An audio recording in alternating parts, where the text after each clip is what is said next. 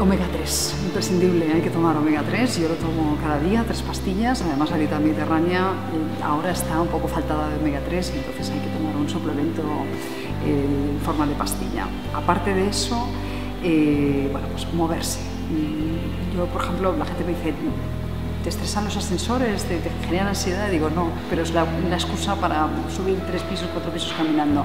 Si, si puedo subir por las escaleras, pues cojo las escaleras caminar, no he hecho mil veces, pero bajarse una parada antes en, el autobús o, bueno, incluso distancias en la ciudad, ¿no? Fines de semana que no tienes prisa. Tampoco hay que hacer grandes cosas, pero, pero sí que mantenerse activo siempre, ¿no?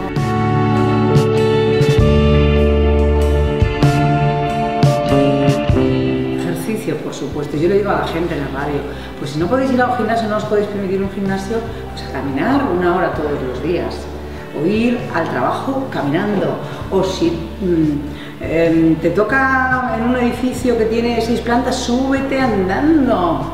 Yo ahora que he estado una semana hace poco en un hospital con mi hijo, pues yo subía todos los días andando esas escaleras y bajaba las escaleras. Eso es maravilloso, por ejemplo, ¿no?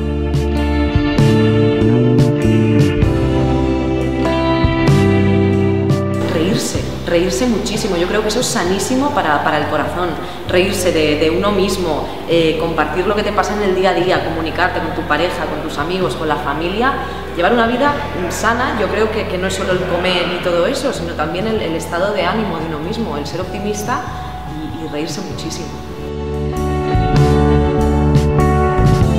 Yo creo que gestos muy sencillos, pasear, ¿no? media hora de paseo diario, ¿no? introducción en tu hábito de, bueno, todos los días voy a dar un paseíto de 30 minutos. No hace falta correr, no hace falta que te hagas eh, una maratón, no hace falta que te metas al gimnasio, ¿no? Pero con un paseo diario de 30 minutos tu corazón te lo agradece. Y yo creo que con ese hábito tan sencillo consigues muchas cosas.